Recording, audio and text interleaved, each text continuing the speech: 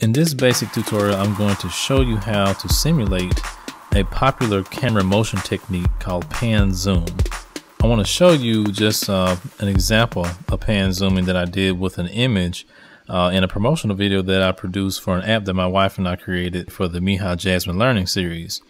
So in this particular video, we're basically um, teaching you a few facts about Cinco de Mayo. And in the very beginning, Let's see, you'll see that I begin with a title image and we do a pan zoom. I'll play it so you can see how it looks. Hola, hoy celebramos Cinco de Mayo, la Batalla de Puebla.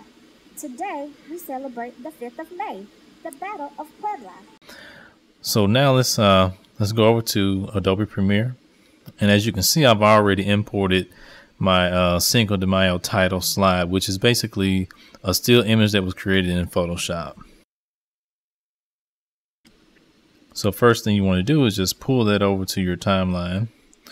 And I'm just going to expand my timeline just a little here, just so that I can show you exactly uh, what I'm doing here with this clip. Now that we have our image on our timeline, let's select the clip and look in the effect controls. Here we want to place keyframes for position, scale, and rotation in the very beginning of the clip and also at the very end of the clip. So let's go ahead and do that. Uh, go to the very beginning of the clip and click the toggle animation icons to create your first three keyframes for position, scale, and rotation at the very beginning of the clip. Now go to the end of the clip and click the add keyframe icon for position, scale, and rotation. Now that we have keyframes for position, scale, and rotation at the beginning of the clip and at the end, we can go ahead and create our pan zoom effect. Now let's position over to our first set of keyframes and the scale is already set to 100, rotation 0 to position X is 960, Y is 540. So you can basically adjust these settings to your own preference, but I'm going to just go ahead and just uh, scale up to about 146 and I'm going to rotate it uh, about uh, 15 degrees and just so I can get rid of that little white part in the image there and start with a clear image of the character and the title. Let's just move this up on the y-axis just a little bit like so. All right, so that's my first keyframe.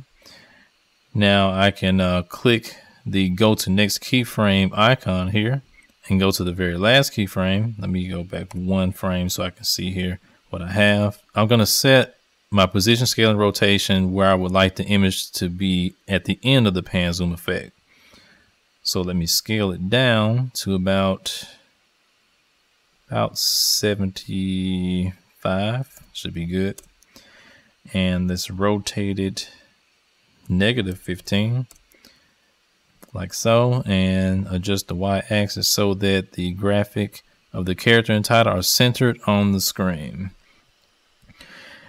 And uh, basically that's it. If you go to the beginning of your clip and hit the play button to preview, you'll see a really cool pan zoom effect, just like that.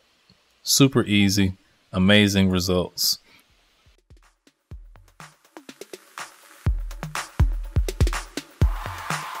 Thanks for watching this tutorial. I hope that it was helpful to you. If you have a question, just post a comment below. Also, click the subscribe button for more.